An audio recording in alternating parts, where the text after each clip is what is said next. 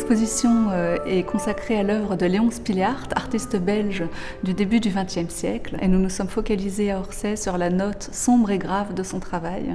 En fait, les débuts, les premières décennies, jusqu'en 1919, alors qu'il a 38 ans. C'est pour ça que l'exposition euh, s'intitule Lumière et solitude, c'est-à-dire la période durant laquelle l'œuvre est dominée euh, par ces deux éléments. Son œuvre est très très liée à la ville d'Ostende, dont il est originaire et où il a passé la majeure partie de sa vie, donc Ostende, ville portuaire euh, au bord de la mer du Nord. Léon Spiliart a fait beaucoup de nocturnes parce qu'il était insomniaque et aussi parce que la nuit ouvre des possibilités infinies et son œuvre est imprégnée par cette atmosphère.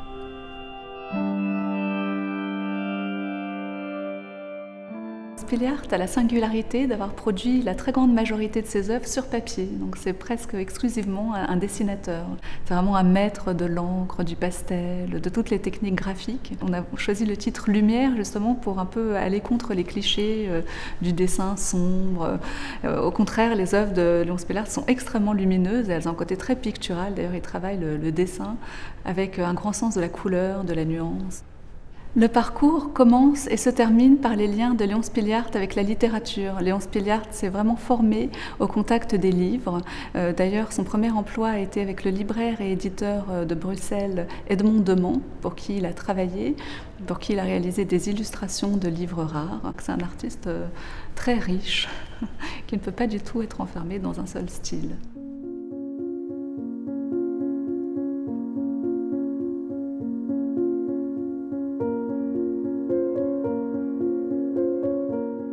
Dans l'exposition, on est accueilli par Le Coup de vent, euh, œuvre magnifique prêtée par le musée euh, d'Ostende, qui est une œuvre où l'on voit une femme euh, assez énigmatique avec les cheveux balayés par le vent qui se tient dos à la mer.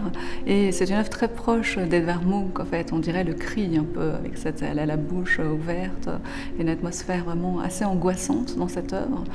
Et ce qui est étonnant, c'est qu'elle elle tourne le dos à la mer et elle ne la regarde pas. La première section est consacrée au lien de Léon Spiliart avec euh, la littérature, l'œuvre de Maurice Maeterlinck et d'Émile Verhaeren, donc avec une série d'œuvres liées à la princesse Malène notamment, euh, euh, à qui Léon Spiliart a, consacré plusieurs dessins, avec une vitrine présentant le théâtre illustré par Léon Spiliart ainsi que les recueils de poésie. Ce sont vraiment ses premières œuvres, plutôt de petit format, à l'encre noire, où euh, il y a une profondeur et une mélancolie euh, très grande qui se dégage de, ces œuvres. La deuxième section s'intitule Intérieur, en référence en fait euh, à une pièce de théâtre de Maurice Maeterlinck, et montre des scènes d'intérieur de Léon Spiliart vues sous l'angle de la dramaturgie de l'époque. On a des personnages isolés dans des décors très simplifiés et très expressifs, notamment Misère et Toute seule qui ont été réunis. Donc euh, une pièce vide et la même pièce vide mais avec une petite fille euh, euh, à l'intérieur et deux œuvres qui proviennent d'une collection magnifique des États-Unis aussi sont dans cette section et qui présentent deux femmes. Alors l'une dans un intérieur et elle regarde le mur noir et non pas les deux fenêtres qui sont autour du mur et elle est iridescente, semble complètement phosphorescente. Le contour de cette silhouette est absolument fascinant. on a l'impression d'une apparition en fait qui surgit dans cet intérieur. Et à côté de cette œuvre une autre femme solitaire euh, contre une table blanche euh, avec une horloge derrière elle qui est là et très, très lumineuse. Et en fait, la, femme se fond presque avec la, avec la table. Euh, Léon Spillart est très intéressé par les reflets, et parfois c'est le sujet d'ailleurs de ses œuvres. Il n'y a pas beaucoup de différence entre une table, une coupe ou une marine, parfois dans sa manière de les traiter.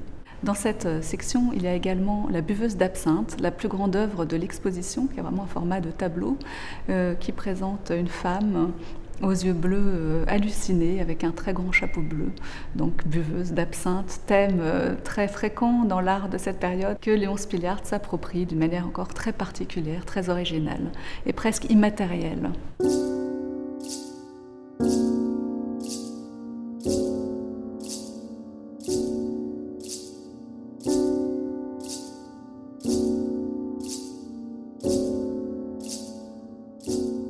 La troisième section de l'exposition montre une sélection d'autoportraits de Léon Spiliart. Alors parmi ces autoportraits, on peut s'arrêter euh, sur l'autoportrait euh, du musée d'Ostende, euh, qui est vraiment une œuvre extraordinaire où l'artiste se montre en contre-plongée contre un miroir. Et ce miroir, fait, semble un gouffre béant prêt à happer l'artiste. l'artiste a un visage complètement défiguré, on dirait défiguré par l'effroi on se demande ce qu'il a vu, est-ce que c'est sa propre mort Il a un seul œil qui est euh, un losange complètement exorbité, révulsé. Il y a d'autres autoportraits très intéressants dans cette section l'artiste se représente parfois de très près, parfois dans un cadrage plus large. Quand il est dans un cadrage plus large, il joue vraiment de, l'espace pour donner une impression d'emprisonnement, d'angoisse. Il accentue les lignes rectilignes, les orthogonales de l'espace comme une sorte de prison ou de serre chaude qui enferme l'artiste dans sa solitude. L'un des autoportraits aussi que l'on peut mentionner particulièrement est celui conservé dans les collections du musée d'Orsay. C'est un autoportrait euh, assez extraordinaire parce qu'il en recèle plusieurs. Euh, l'artiste avait d'abord euh, fait un autoportrait où il se représentait avec plusieurs visages derrière lui, qui sont comme des masques ou des, des visages de lui-même à différents âges de sa vie, ou encore des images de ses pensées peut-être qui l'assaillent par derrière. Euh, mais il a voulu couper court à toute interprétation et rester plus neutre euh, en resserrant l'autoportrait. Et donc il y a deux signatures et deux, euh, dates en fait sur cette, cette œuvre. Dans cette salle des autoportraits, euh, on voit cette physionomie âpre et tourmentée qui était celle de l'artiste. ses contemporains qualifiaient sa, physionomie euh, d'étrange, avec sa grande chevelure, d'ailleurs qu'il met en valeur, et que certains comparaient à celle de, la physionomie de David Lynch, par exemple. Léon Spilart accentue vraiment ses traits. Euh, on voit son caractère fiévreux, inquiet, tourmenté dont il parle à cette époque. Deux natures silencieuses terminent ce parcours et font la transition avec les paysages. Une œuvre qui représente des flacons euh, qui contiennent en quelque sorte l'essence de son œuvre. Léon Spiliart était fils de parfumeur, donc il a été baigné dans cette atmosphère aussi de flacons, d'alambics qui évoquent l'alchimie aussi. Et à côté des flacons est présentée la coupe bleue, une œuvre extraordinaire.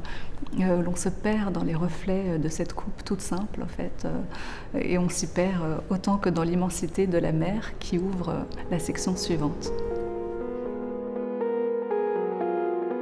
On arrive dans la grande salle de l'exposition qui s'appelle euh, Espace d'Ostende, Vertige de l'infini et qui est dévolue au fait à cette ville euh, qu'il regarde d'une manière très très particulière puisqu'il se tourne exclusivement vers la mer, vers le phare et pas du tout vers la ville en fait avec un mur d'œuvres très sombres.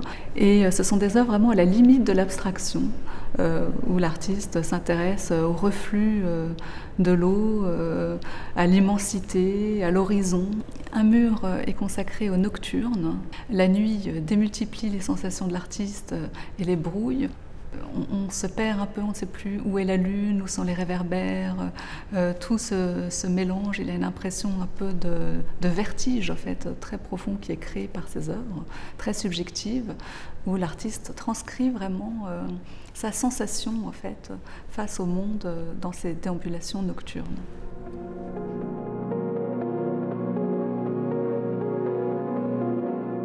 Alors d'autres œuvres sont beaucoup plus lumineuses et euh, sont euh, imprégnés de, tonalités bleues très subtiles. Léon Spiliart travaille beaucoup de matériaux, pas seulement l'encre, il travaille aussi la gouache, l'aquarelle, les crayons de couleur, le pastel, par strates, par superposition euh, très délicate. Et il crée une impression de lumière très intense. Et la marine avec reflet est particulièrement propice à la sérénité. On peut s'abîmer vraiment dans la contemplation.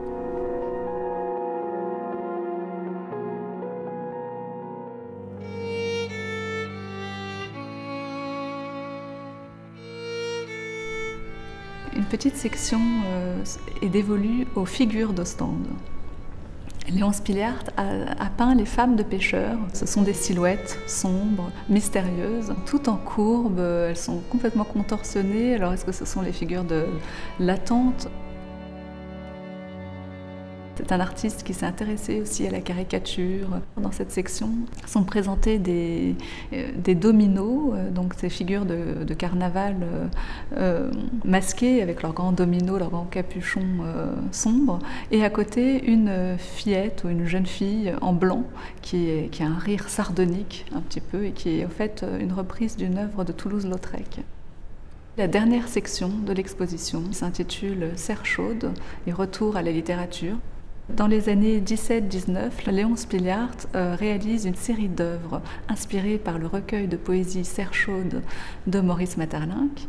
Il réalise des dessins pour des lithographies qui sont présentées dans l'exposition, donc une série de 10 lithographies éditées dans un très petit nombre d'exemplaires et toutes uniques parce que toutes rehaussées différemment d'encre et de crayon. L'exposition est un peu cyclique, en fait, on commençait par la littérature, on termine par elle.